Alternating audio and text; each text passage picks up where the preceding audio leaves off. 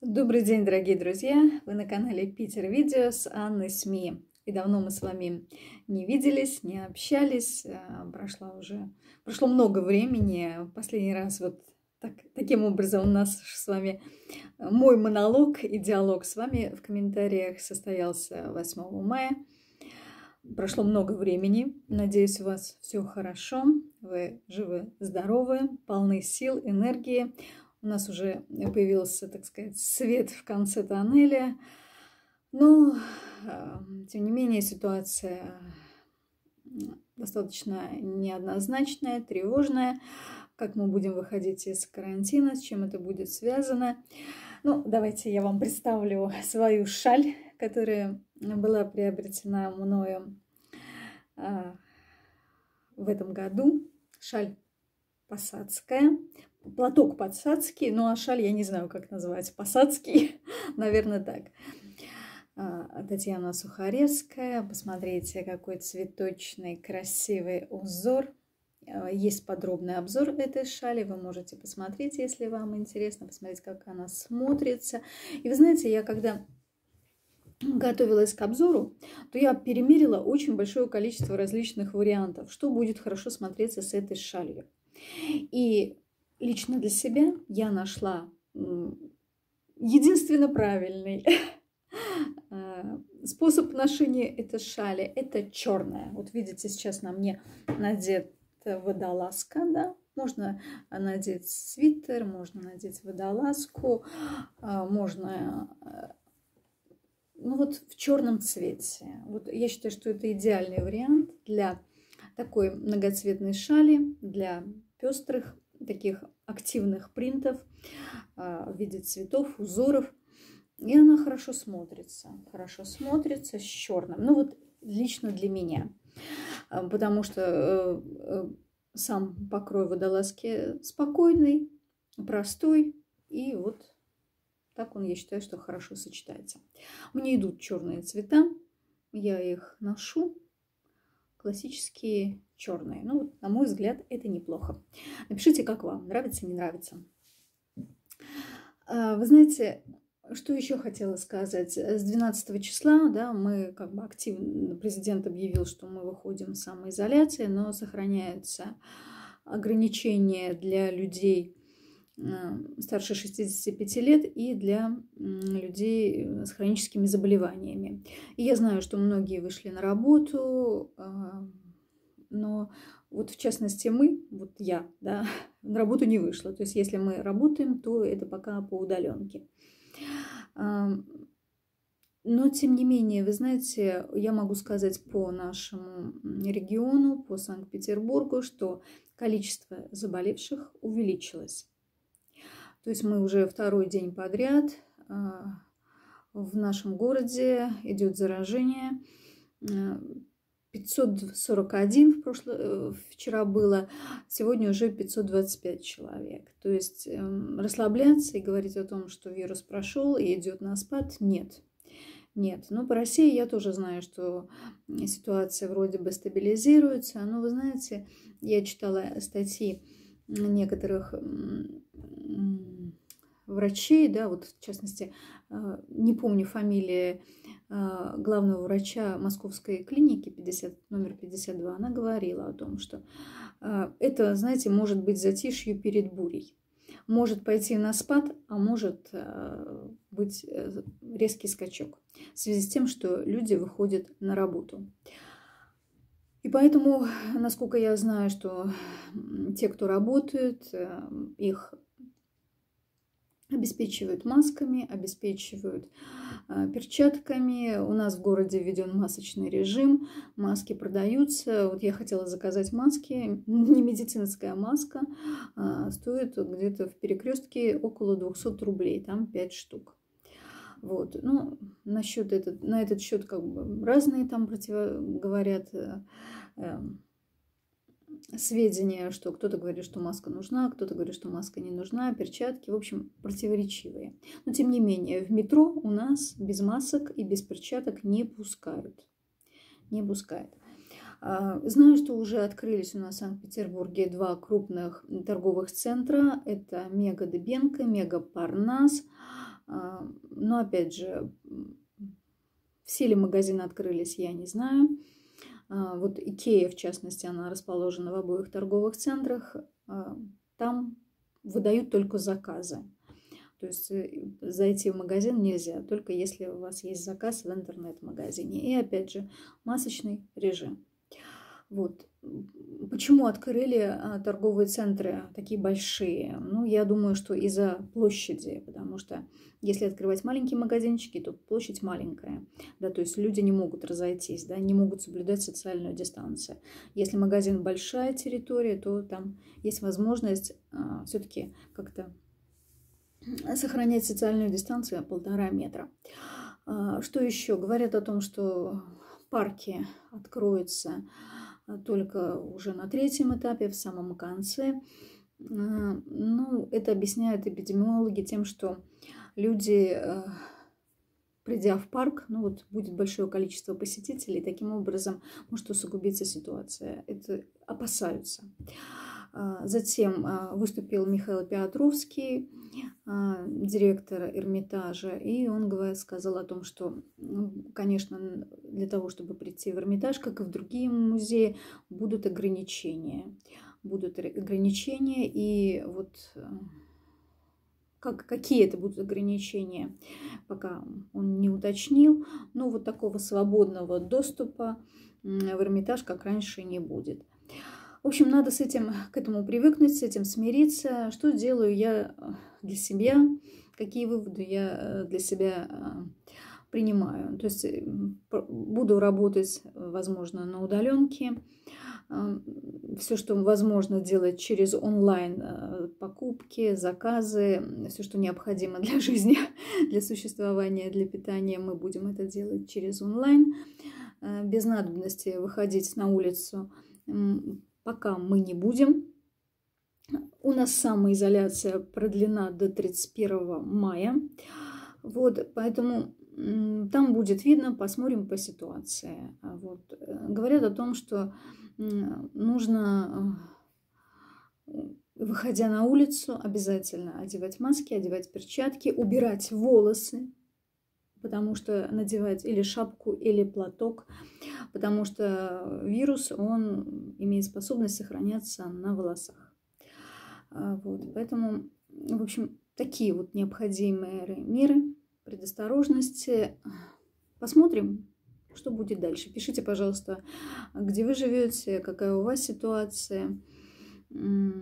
Говорят о том, что э, в Европе будет вторая волна вторая волна. Не знаю, как у нас это будет или не будет. Но, в общем, я так понимаю, что с приходом осени возможно, что все это повторится. Вот. Ну, естественно, я для себя решила, какие ограничения я для себя веду.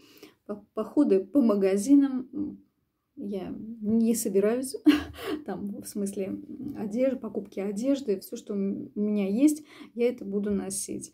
Э, ничего я для себя не планирую покупать, чтобы просто-напросто не рисковать.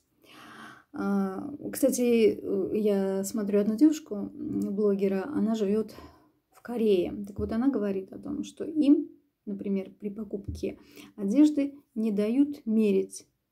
То есть нельзя примерять. Нельзя на себя надеть ту или иную вещь, которую ты хочешь купить. То есть, если тебе что-то нужно, пожалуйста, выбирай размер, подбирай и покупай. А примерка, она не состоится. Вот, поэтому, насколько это связано с сегодняшним днем, в общем, не знаю. Или это было всегда так, или это вот такие нововведения. А по поводу открытия границ. Э, для России открыли границы государства, такие государства, как Греция, Исландия, по-моему, и Турция. А, но мы пока еще никого не выпускаем. Они, но они оговорились. Если вы хотите приехать на территорию этого государства, вам должны сделать тест. И уже по результатом этого теста вы, вы будете либо на карантин помещены с дальнейшим лечением, вот эти нюансы я не знаю, либо, либо ну вот если все хорошо у вас будет, вы будете отдыхать. Но вот, вот этот тест будет обязателен при прохождении границы. Вот. Друзья, у нас тут ведутся ремонтные работы, жизнь, она продолжается, поэтому если вы услышите какие-то посторонние шумы, поэтому не обращайте внимания. Но жизнь продолжается, и, конечно, вас интересует наверняка, как мы проводим свой досуг в таком замкнутом пространстве. Конечно, не хватает очень движения, не хватает выходов на улицу, активности, но тем не менее мы находим какие-то способы для того, чтобы поднимать себе настроение. И вот э, последнее время э, я смотрела сериал, турецкий сериал «Великолепный век». Я уже выложила одно видео, где с понравившейся мне музыкой, если вам вас это интересует, вы можете посмотреть. А, но вы знаете, сам сериал я как-то, вы знаете, пропустила, как, когда он начался, э, когда выпустили первые серии, и под... я смотрела его, знаете, как-то частями. А, мне лично этот сериал очень нравился из-за хорошей очень артистки, обаятельной, красивой, которая играет главную роль, э, Мирьем Узерли. Она играет роль Хюрем. Хюрем. А, и вы знаете, как-то я постепенно потом втянулась. Это был, как, я уже не помню, какой год. Я втянулась, мы смотрели э, эту, эти серии, транслировались по каналу «Домашний». И каждую субботу и воскресенье мы усаживались и смотрели, что же произойдет в этой очередной серии. Ну, я не буду э, рассказывать краткое содержание. Я думаю, все любители великолепного века уже знают это содержание. Но вы знаете, как-то так случилось, что когда из сериала ушла Мирьям Узерли и пришла новая артистка, которая играла роль Хюрем уже в более старшем возрасте, как-то она меня не впечатлила вначале. И вот здесь у нас появилось много свободного времени, и я решила все-таки пересмотреть этот сериал уже как бы вот с того момента, когда вот разворачиваются вот эти все события, когда дети Хюрем Султан и э, Султана Сулеймана выросли. И что же происходило? И вы знаете, мне очень понравилась э, э игра, э, как справилась с этой ролью вот эта новая артистка. Слушайте, вы извините, но я забыла ее записать ее фамилию, имя. Вы знаете, вот она сыграла зрелую, умную, активную, красивую женщину э, с волевыми качествами, с характером, с умением, знаете, смотреть вперед. Конечно, знаете, это такое название «Великолепный век». И действительно, это был период расцвета э, Турецкой империи, Османской империи. Э, вы знаете, что в истории мира было много империй. И Российская империя, и Османская империя, и Римская империя. Они, каждая из них переживала свой расцвет, свой закат, свой упадок. И вот наибольшего расцвета, конечно, Османская империя достигла в годы правления э, султана Сулеймана, так называемый Великолепный век. Э, во-первых, они вели, конечно, захватнические войска, войны, да, то есть большое количество территорий было присоединено как на востоке, так и на западе. И мощь, силу османского государства, э, конечно, олицетворял султан Сулейман, а, который был десятым падишахом и а, пользовался уважением во всем мире на тот период. И вы знаете, вот эти любовные интриги, конечно, любая власть, да, любое высокое положение, любое желание так сказать, э, прийти, занять какой-то пост или добиться каких-то успехов, просто так э, не проходит. Да? Все это связано с борьбой, а, с интригами, с завистью, убийствами. Э, все это понимают. И, конечно, сложно жить в таких ситуациях, когда ты находишься в частности, Хюрем Султан, да, Хюрем Хатум, Хюрем Султан, она постоянно подвергалась нападкам со стороны, со стороны окружающих ее людей. Вот, и, конечно, ей было сложно. Четыре, она родила четверых Шахзаде, Мехмед, а затем а, Селим, а, Байзет, Джихангир и единственная дочь султана Михримах Султан. Конечно, я могу сказать, что дети разные, э, всем им нужна была поддержка матери, это понятно.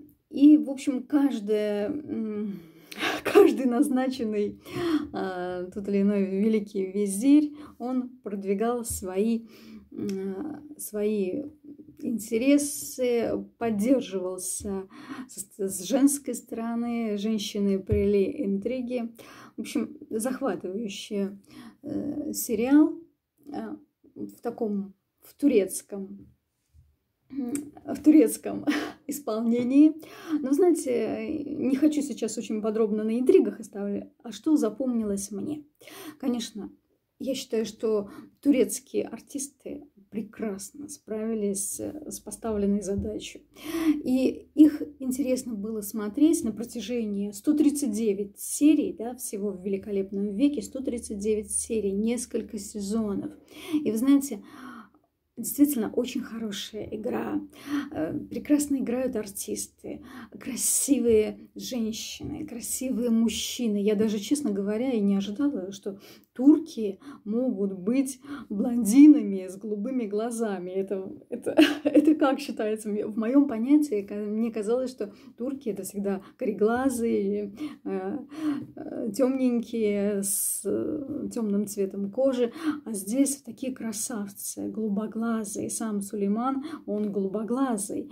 Затем дети его все, сыновья, дочь, тоже голубоглазый и с русым цветом волос.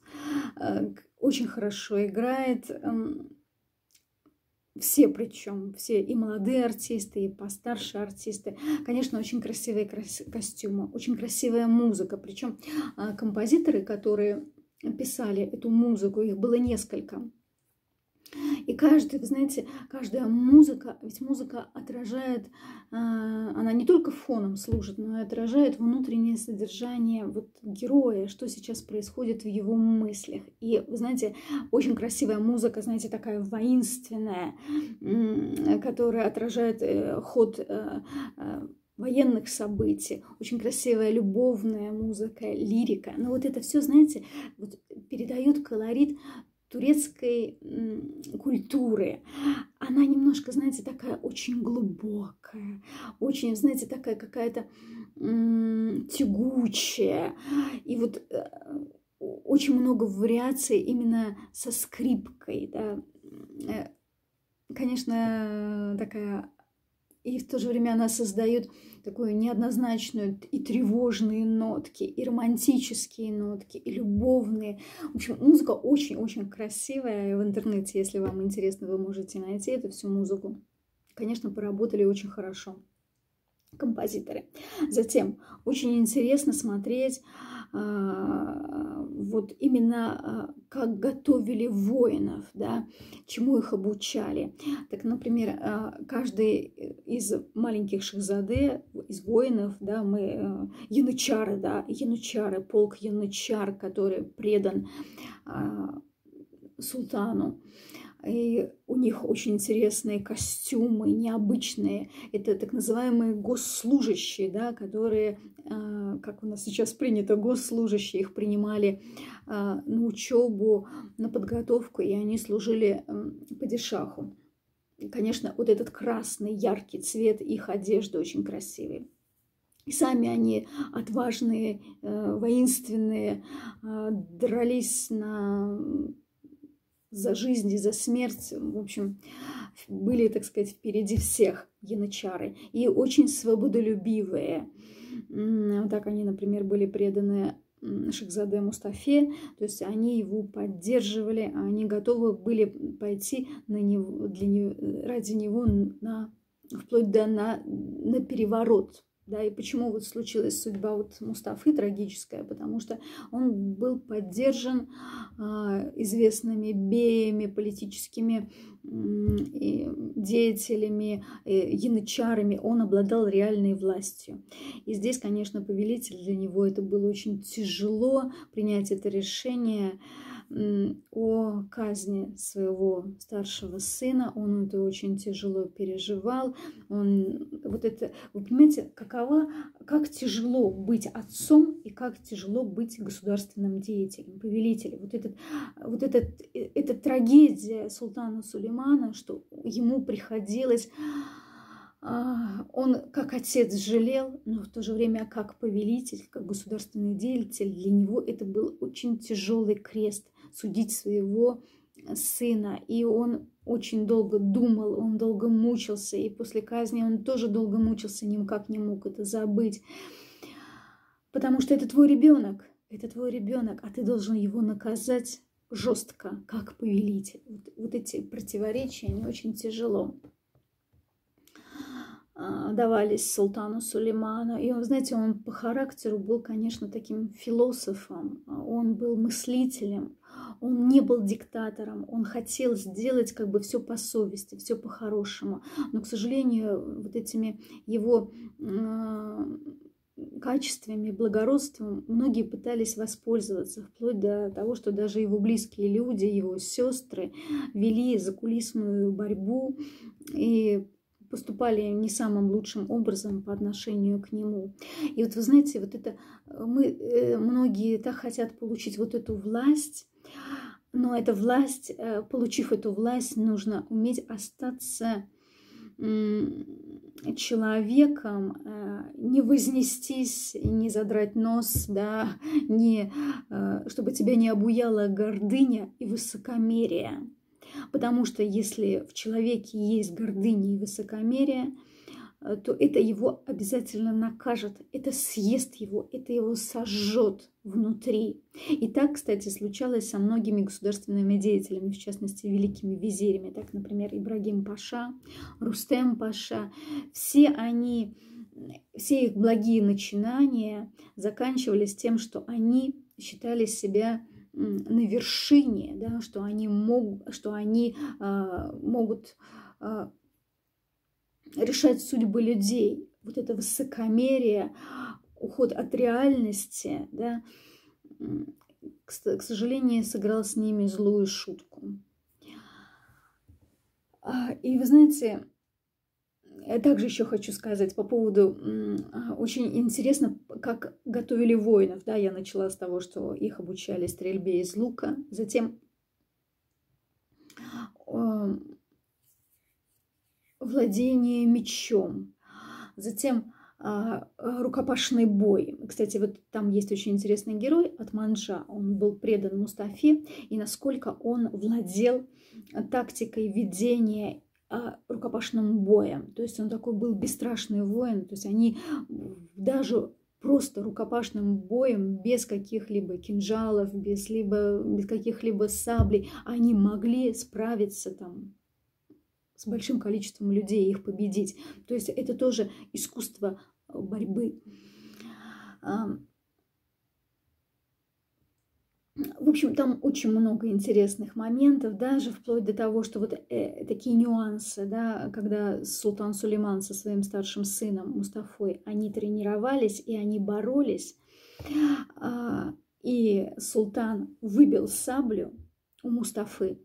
Он ему сказал, где твое второе оружие? То есть, а второе оружие был, должно было быть э, за поясом в виде кинжала. То есть вот настолько вот эта вся продуманность, да, даже в организации вот, своего обмундирования. И очень интересные моменты, когда они надевают свои доспехи, кольчугу, вот этот колорит того времени, э, очень интересно посмотреть.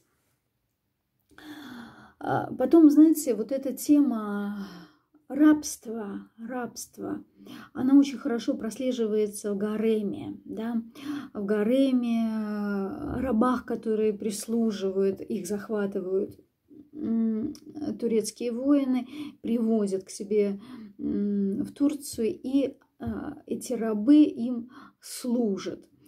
И что жизнь человека, когда он раб?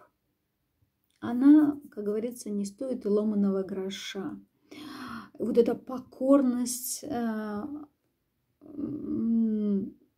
сколько жизней было потеряно людей из-за того, что он раб он не имеет возможности ослушаться своего хозяина, он должен выполнять то, что ему сказал хозяин. И неважно, что через какое-то время он расстанется со своей жизнью. То есть вот эта тема рабства, она, конечно, сквозит. То есть